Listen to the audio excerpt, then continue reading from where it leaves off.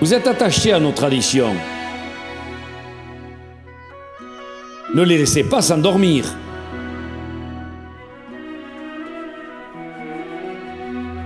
Venez nous retrouver le 23 juin à Honard pour chanter, pour défendre haut et fort nos traditions.